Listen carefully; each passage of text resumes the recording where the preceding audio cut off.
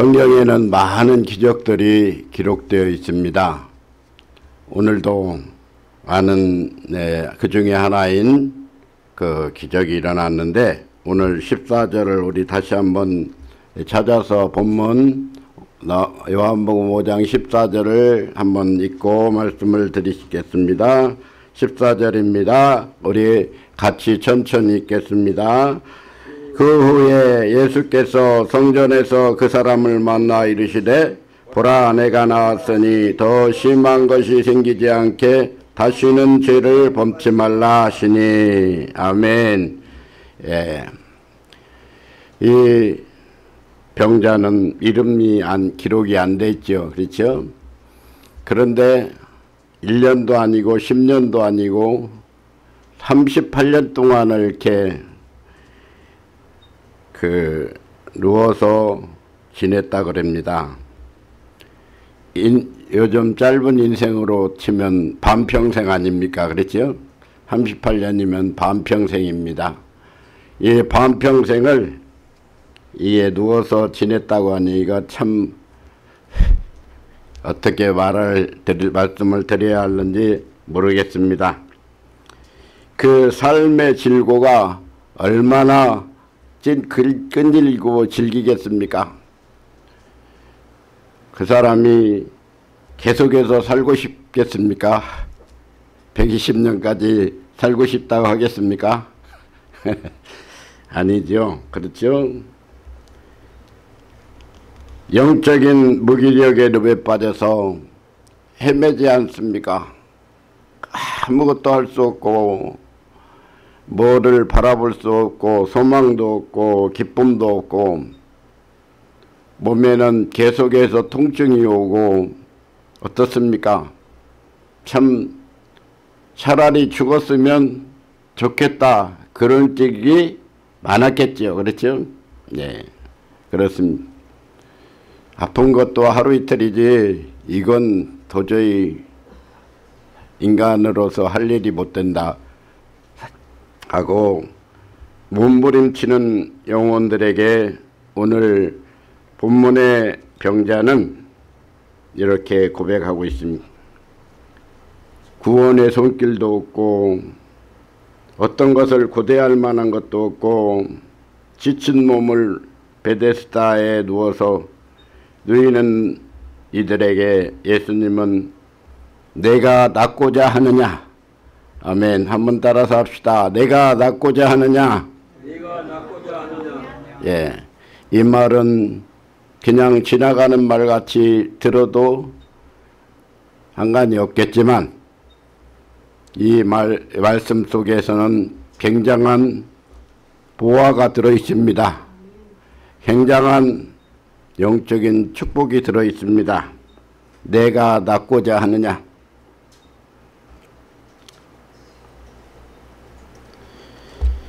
쉽게 간과할 수도 있지만 인생 변화의 진리가 본문에 담겨 있습니다. 우리 성도들, 고통받는 우리 성도들에게 능력 있는 성도의 삶 살지 못하고 수많은 문제 속에서 피곤한 삶을 살고 있는 우리 성도들에게 매일의 삶, 소망을 생기도 없는 소경, 절뚝발이 혈기 마른 자 같은 우리들에게 하나님의 백성이었지만 질병과 문제로 고통을 받고 있습니다. 여러분 베데스다라는 말은 베데스다라는 말은 은혜의 집이라는 뜻입니다. 은혜의 집. 저를 한번 봐주세요. 못생겼지만 봐주세요. 자, 은혜의 집에는 어떤 소리가 들려야 됩니까? 네? 어떤 소리 들려야죠? 감사의 소리가 들려야 되겠죠. 기쁨의 소리가 들려야 되겠죠. 할렐루야 하는 소리가 들려야 되지 않겠습니까? 그런데 무슨 소리가 들려요? 베데스다에서 대답해 보세요. 무슨 소리가 들려요? 예? 앓는 소리. 아이고. 옛날에 아이고 아이고 하니까 미국 사람이 나는 간다. 나는 간다. 아이고. 그런 소리만 들리고 아이고 차라리 죽고 싶다. 죽었으면 좋겠다. 아이고 하나님 왜 이러십니까? 왜 안 들어주십니까? 그런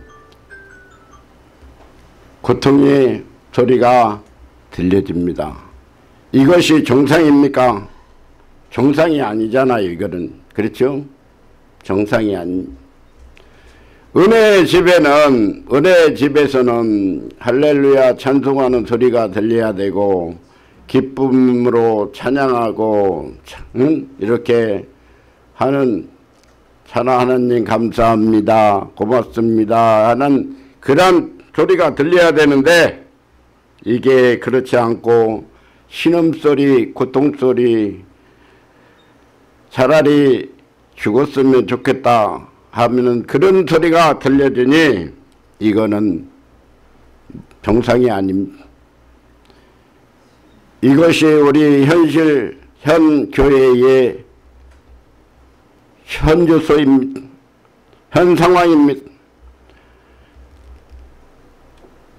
교회가 그렇게 많고 성도들이 많은데 왜 사회는 이렇게 어두워져 갑니까? 왜 못 살겠다고 그렇게 아우성 칩니까?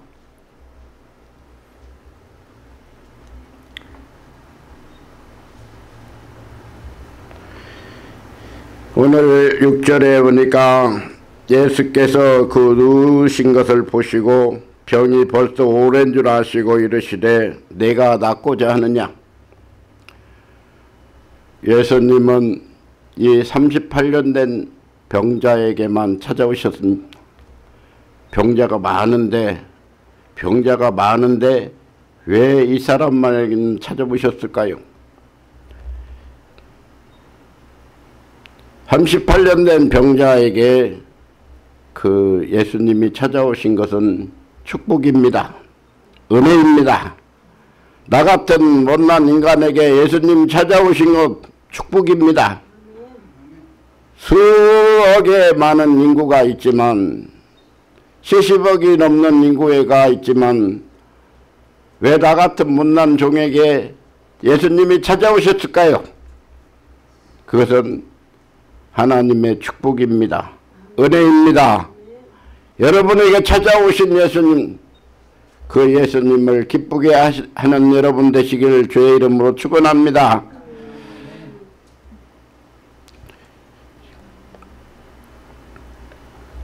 그런데 이 병자는 7절에 읽어보니까 병자가 대답하되 주여 우리 동할 때에 나를 못에 넣어줄 사람이 없어 내가 가는 동안에 다른 사람이 먼저 내려가나이다. 자기의 연약함을 내세워서 뭐합니까? 자신을 합리화합니다. 하나님께 영광을 돌리고 하나님을 기쁘시게 해야 되는데 제가 약해서 연약해서 아무것도 못합니다 하고 합리화를 합니다. 그러면 될까요? 안 될까요? 믿는 자에게는 능치 못할 일이 없느니라 그렇게 말씀하셨는데 예수님이 말씀하시고 제자들도 말씀하시고 사도 바울도 말씀하시고 말씀하셨죠. 그렇죠? 네. 우리는 나를 바라보면 아무것도 할 수 없습니다. 내 자신을 바라보면 내가 내 자신도 천태를 못하는데 무슨 일을 하겠습니까? 못하죠. 그렇죠? 남 도와요? 못, 도, 못 돕니다.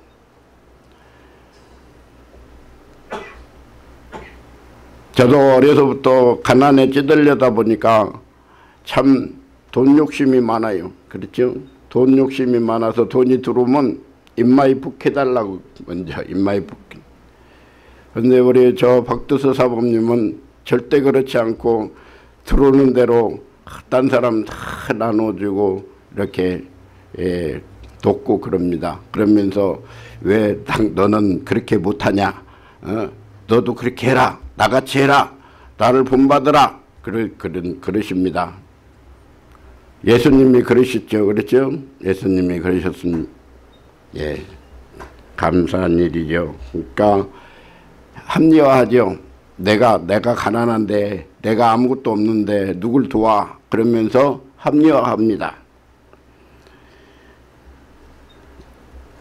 그런데 예수님의 귀한 말씀, 축복의 말씀, 우리 8절 같이 읽어봅니다. 8절입니다. 예수께서 가라사대 일어나 내 자리를 들고 걸어가라 하시니 그 사람이 곧 나와서 자리를 들고 걸어가니라. 할렐루야. 할렐루야. 네. 내 자리를 일어나 내 자리를 들고 걸어가라. 예수님 말씀하시면 끝나는 거예요. 할렐루야. 끝나는 거예요. 38년 된 그 병 다 낫습니다. 할렐루야.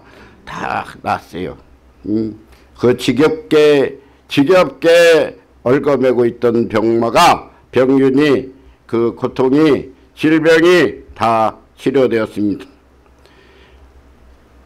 우리 사랑하는 성도들, 이 인터넷 방송을 듣는 성도들에게도 이 주님의 음성이 들려주시기를 주의 이름으로 축원합니다. 일어나 걸어가라. 자리를 들고 일어나 걸어가라. 하시니 그 사람이 곧 나와서 자리를 들고 걸어가니라. 아멘. 우리 믿지 않는 불신자들은 이런 말을 하면은 그게 말이 되냐고 그럽니다. 38년 동안 알아 누웠던 사람이 꼼짝 못했던 사람이 예? 예수님이 한마디로 이렇게 예, 일어나 걸어가라 자리를 들고 일어나 걸어가라 하니까 나와서 걸어갔다 그, 그, 그 거짓말이라고 그러지 그럽니다. 그러나 예수님은 그 말씀으로 천지 만물을 창조하신 분입니다. 아멘. 이스라하니 그대로 되었더라. 보시기에 좋았더라. 천지 만물을 다 말씀으로 창조하신 분입니다. 그분이 자, 뭐 일어나 걸어가라 자리를 들고 걸어가라 하는 말은 쉽지요. 쉽, 쉬운 말입니다. 그러나 우리 믿지 않는 성도들 예수 믿는다고 교회 나와서 예 규율은 지킨다고 교회 출입은 하지만 예수님을 안 믿는 사람들은 이 말이 이해가 되지 않습니다. 이해가 되지 않아요. 그러나 우리는 그것이 그것을 믿어야 됩니다. 아멘. 믿어야 돼. 믿지 않으면 불행입니다. 믿지 않으면 그냥 38년 아니라 100년까지 누워 있어야 됩니다. 그런데 여러분 왜 병자가 그렇게 38년 동안이나 그렇게 누워서 고생을 했습니까? 고통을 받았습니까? 오늘 14절에 보니까 그렇지요. 그 후에 예수께서 성전에서 그 사람을 만나 이르시되 내가 나았으니 더 심한 것이 생기지 않게 다시는 뭐를 짓지 말라? 죄를 짓지 말라. 죄를 짓지 말라. 예. 죄 때문에 그 병이 왔다는 것입니다. 죄 때문에 병자가 38년 동안 그렇게 누워서 고생을 했다는 것입니다. 그렇다고 해서 모든 병이 죄 때문에 온 것은 아닙니다. 그렇죠? 모든 병이 죄 때문에 온 건 아니지만 이 병자에게는 죄 때문에 병이 왔다는 것입니다. 그러니까 일어나 내 자리를 들고 걸어가라는 말은 내 죄를 다 사했느니라. 아멘. 내 죄를 다 사했느니라. 주님이 말씀하시는 것입니다. 그렇습니다. 여러분 우리가 죄를 지으면 어떻게 됩니까? 어떻게 해야 합니까? 회개해야 되죠. 그렇죠? 회개해야 됩니다. 철저히 다윗과 같이 다윗이 바세바를 취하고 그 남편을 죽게 만들고 하고 해놨을 때에 나단 선지자가 와서 책망하지요.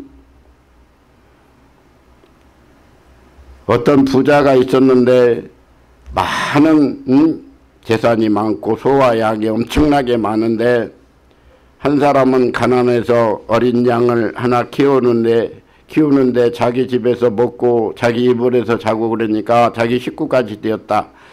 그런데 뭐라고 말합니까? 가- 부자가 부자한테 손님이 오니까 가난한 사람 양을 뺏어서 어떻게 했다고 했어요? 손님을 대접했다고 했.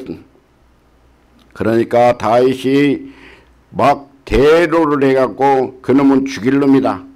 예? 사배를 갚아야 될 것이다. 그러니까 나단 선지자가 바로 그 사람이 너다. 네가 그 사람이다. 그러니까 막 다윗이 그대로 꾸꾸러져 가지고 회개를 했습니다.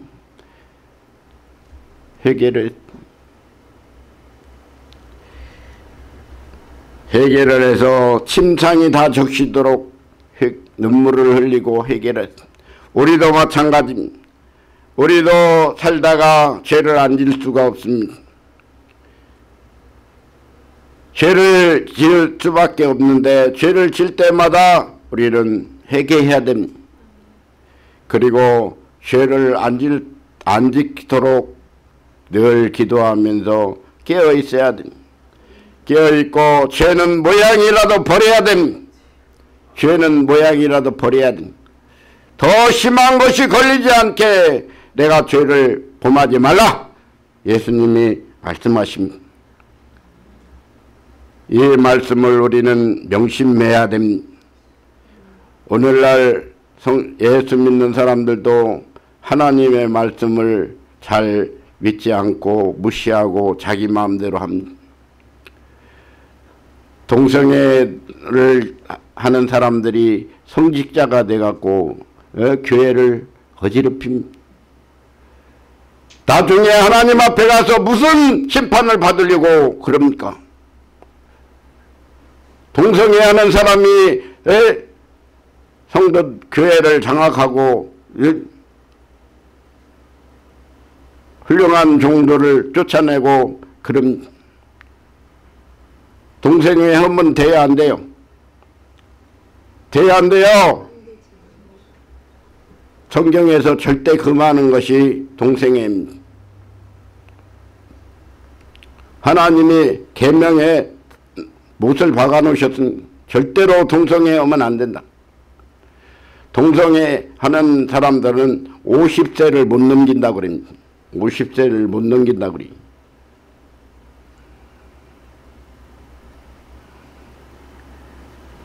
여러분들이 더 잘 아시겠지만 그렇습니다. 죄를 범하지 말라. 더 심한 것이 걸리 생기지 않게 다시는 죄를 범치 말라.